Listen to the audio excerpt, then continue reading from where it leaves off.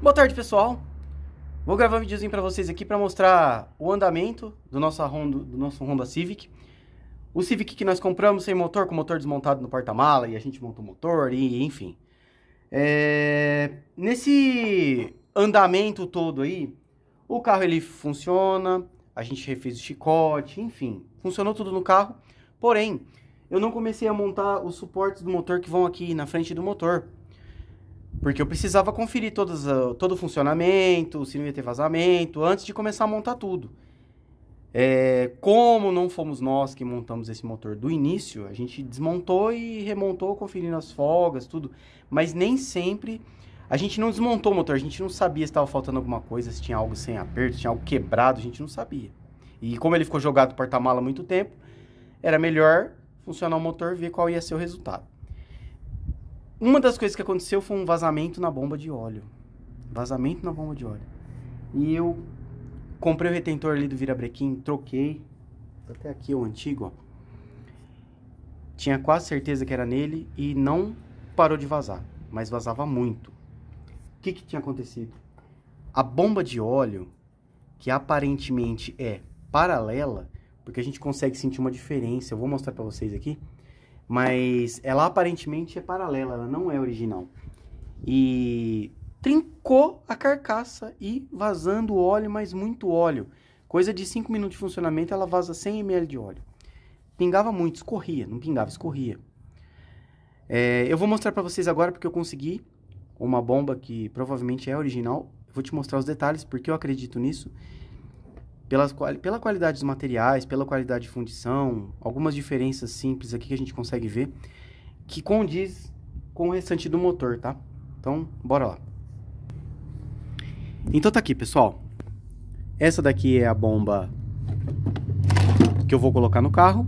Essa é a que estava, certo? Onde vazou? Eu vou virar as duas na mesma posição. É... Como vocês podem ver aqui onde está meu dedo, ó, ele tem um case que é o na fundição, essa bolinha é onde vai o parafuso do outro lado, certo? Então tem esse parafuso, ele entra de lá para cá e fica aqui nessa bolinha, tá? Tem um aí, tem um aqui, tem um aqui, ó. O que aconteceu? Ela trincou aqui, ó. Trincou. Tá vendo aqui que tem as ó, essa corresponde com essa e essa corresponde com essa, ó. Essas duas são correspondentes. Bem do lado aqui do retentor, tá?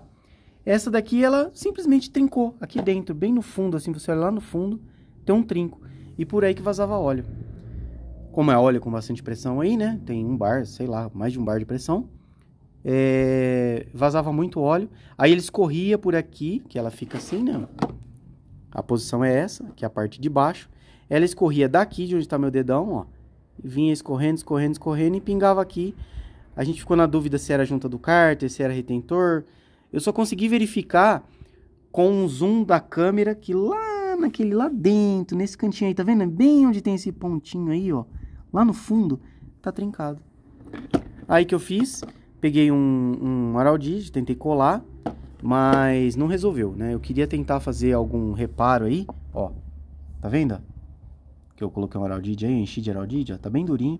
Mas não resolveu, ele continuou vazando por baixo e, e saiu e saiu ali e fez a lambreca tudo de novo. Uh, o porquê que eu acho que essa bomba aqui ela não é original? Porque olha como tá a usinagem aqui da seta que indica o ponto do motor, tá vendo? Ela tá meio desgastada, ela é meio rasa. Ela não tem definição. E olha como é bem definida essa seta. Tá vendo? A diferença é absurda. E essa usinagem aqui, ela parece mais lisa, tá vendo? Ela não tem textura na usinagem. Essa aqui, ela é toda áspera. Tá vendo como ela é grosseira? Ó? Então, pra mim, essa é original. Até nessa... Essa, até nesse sobressalto que tem aqui, ó. Vocês podem ver que é diferente, ó. Tá vendo? Ele é menos grosseiro, ele é mais definido. Então, o que eu vou fazer? Eu já conferi aqui, joguei uma água, girei. Ela tá com fluxo é, legal. E nós vamos colocar essa no lugar né? Eu vou tirar esse retentor daqui agora com todo cuidado para pôr aqui, porque esse aqui é novinho. Eu tinha, já coloquei dois retentores, então esse aqui é novinho, zero. Vou tirar ele com cuidado aqui para colocar aqui. E vamos montar essa bomba aqui. Mas o que eu queria falar para vocês é o seguinte também, viu? É, esse motor D16 aqui, essa linha de motores, ela me surpreendeu muito pela facilidade de manutenção. tá? Ele é um motor que, por exemplo, para trocar a bomba de óleo aqui, ó, eu tiro a polia da correia dentada, a polia, tiro a correia dentada, só solto a correia dentada. E em cinco minutinhos ali a bomba tá fora. Então tem que tirar o cárter, tem que tirar o escapamento, né? Esqueci desse detalhe porque como já tava meio fora. Mas é muito fácil, é coisa rápida.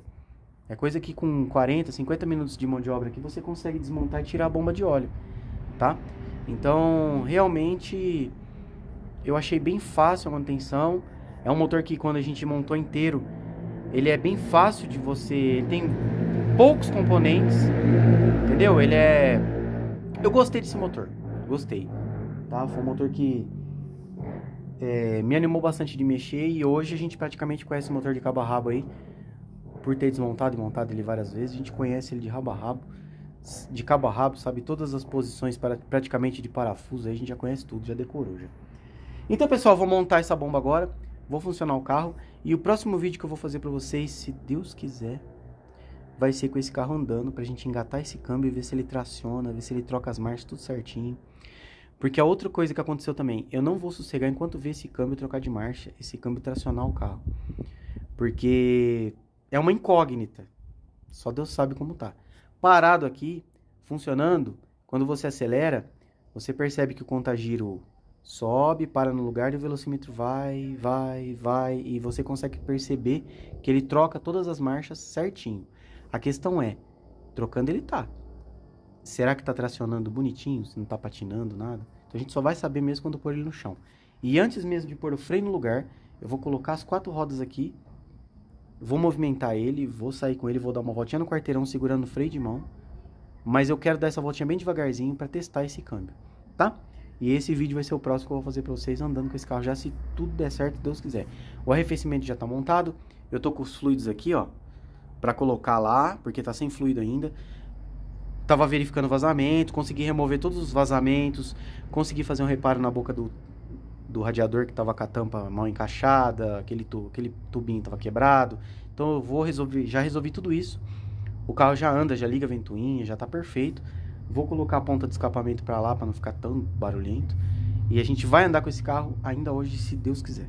Beleza, pessoal? Então, aguarda aí que logo logo tem Civic rodando.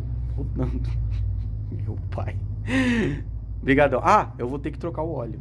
Porque a gente não lavou esse motor por dentro. O, o óleo que eu tirei tá aparecendo purpurina. Então a gente. Eu vou colocar óleo novo, vou trocar o filtro, vou colocar filtro novo. Porque já limpou, né? Já lavou. Agora vamos colocar tudo novo para poder andar. Então, até daqui a pouquinho.